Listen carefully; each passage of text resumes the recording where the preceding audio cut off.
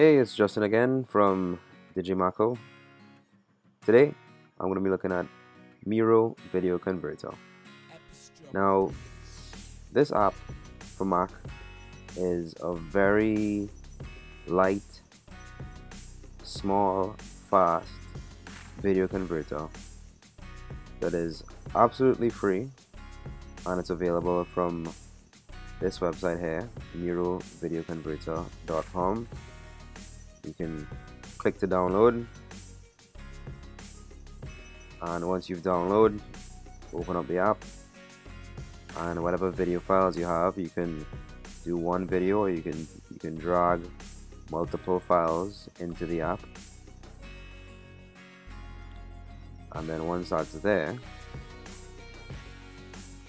you can then convert to all of these preset formats so for Apple, we have all of these. Everything from Apple TV right down to the iPod Touch 4, including iPhone 4, iPhone 5. It's all in there. And then for Android, you have a list of devices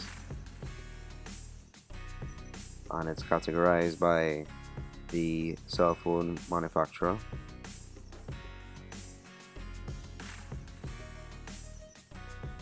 Then we also have other stuff like the Kindle Fire, PSP, or we can convert by format.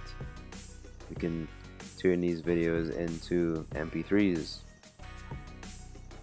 or we can go Web HD, Web Standard Definition, MP4, and so on. We also have these other formats as well that I'm not too familiar with. We can also do something totally customized. We can resize the video by entering a custom size, custom aspect ratio, and also create thumbnails. So it's definitely worth downloading. This is Miro Video Converter.